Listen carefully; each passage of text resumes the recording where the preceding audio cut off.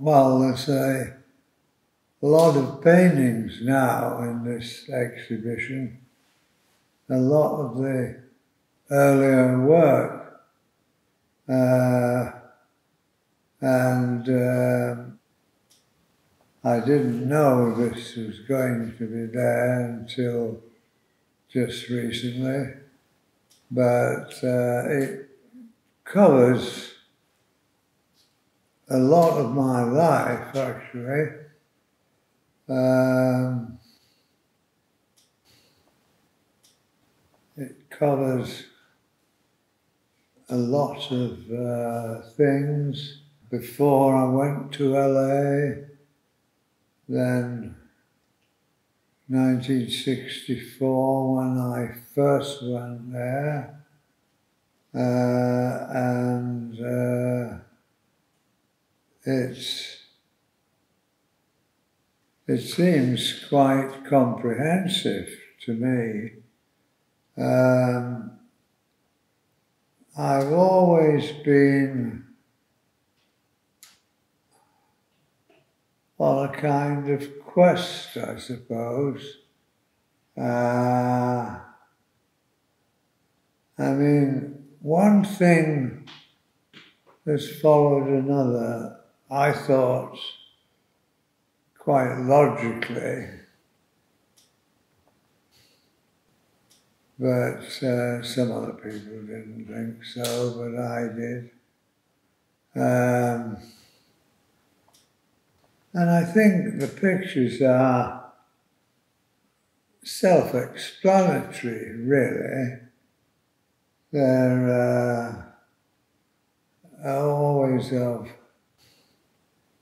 something real in the world. Uh, I'm always saying we should look at it. Uh, to enjoy it.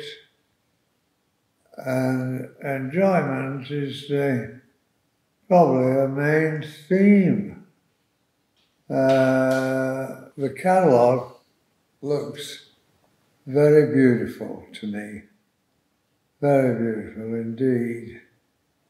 I love the way it's been done uh, with bleeding pages uh, right to the edge, that is, sometimes, other times not. But it gives uh, great variety, and uh, I think that's what my art shows. Uh, I've always painted on the whole what is around me. Right at the moment, I'm in Normandy, uh, painting this. I did a great big work that's in this exhibition, a whole year in Normandy, which was based really on the Bayeux Tapestry, which is a work from uh, 1066 and uh, it, uh, it's one of the oldest European works still reasonably intact. And uh, it's not that far away from here. And uh, when I first went there in, well, I first went there in 19, about 1967, but uh, I haven't been then for 50 years. And when we went in 2018, I uh, immediately thought of doing something from it. And, uh, but it took me two or three years to do it. Uh, I couldn't have done it straight away. I had to get to know the landscape and things here. I had to uh, get to know the trees and the seasons. And uh, in 2020, I made 220 uh, iPad paintings of the year in Normandy. And uh, it was from these that I constructed this scroll.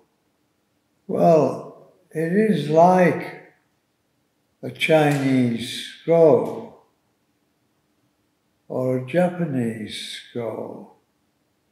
Uh, Japan has had a big influence on European art, of course, uh,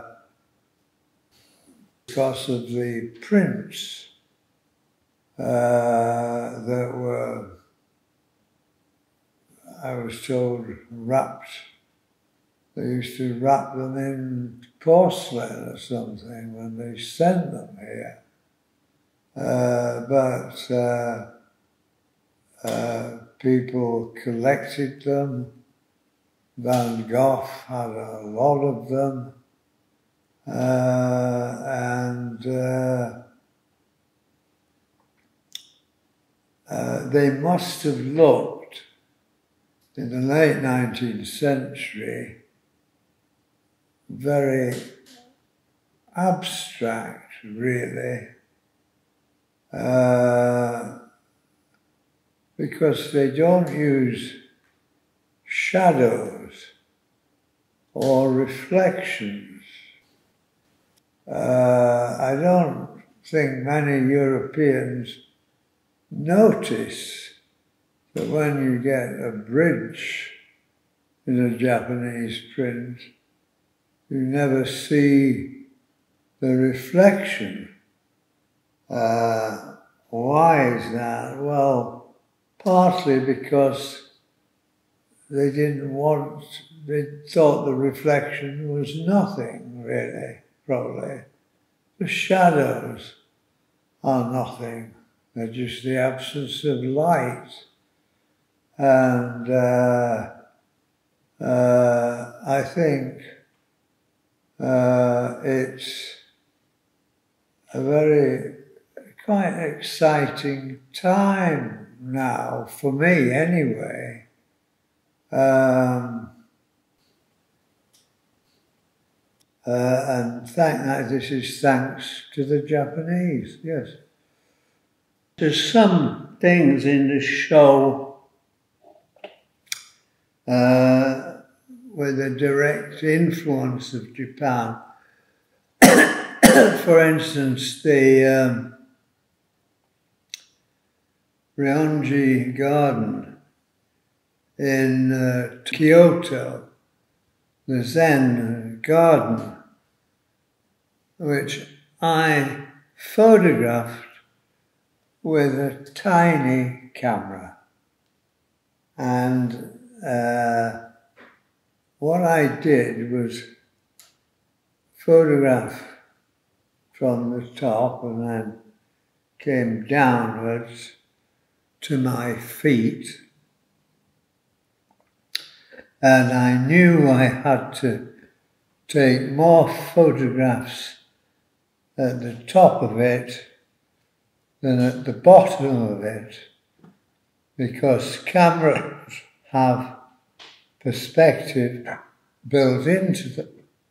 And, uh, but, and it meant counting little pebbles and things because when you just get to just pebbles, you had to realize what the pebble was at the bottom of your previous picture you'd just taken, and you weren't seeing these straight away.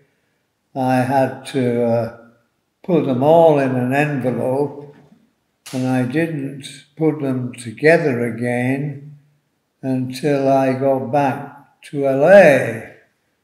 But I thought I had made a representation of it without perspective. It was a rectangle, like the garden is rectangular. Uh, it didn't go like that. And uh, I, it got me quite excited that uh, uh, this was about 1982 or 3, I think. Uh, we'd gone, I think, to a paper conference, I think. I remember someone putting into my hand a little bit of paper and they just put it in my hand and closed my hand. And when I opened it up later, it just had embossed on it love life. Well, that's what I've always done, really. Uh, it was a marvelous little thing to have given somebody. Uh, I don't know whether they gave them out to a lot of people, probably, uh, because it was a very touching uh, thing to do. Very nice. Um, I'm sorry I can't come to Japan, but I've been told really not to fly that much and it's a long, long way. So I'll just stay here and paint. And uh, so I'm, I'm still painting away. I'm now painting the spring. I'm, I mean, I might do, I might do the whole year. Please leave a message for everyone in Japan, particularly young people. Well, uh, my only real message is be yourself. Uh, find out what you love doing. And if you love it,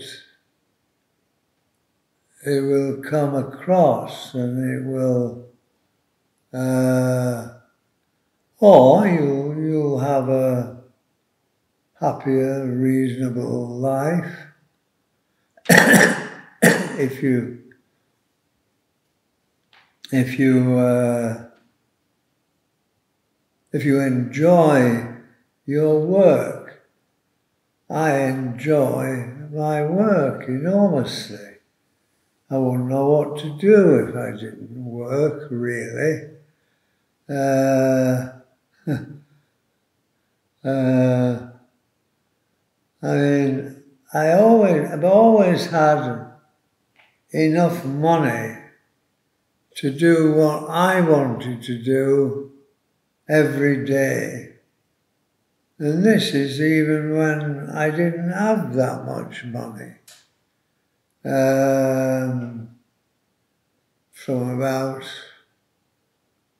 oh, 1962 or 3, when I found out I could paint and make a living at it, I was thrilled, really.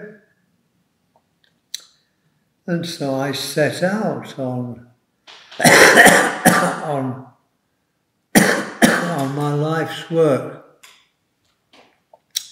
But you have to be yourself.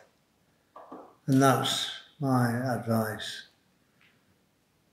for everybody, everybody, including the young and old.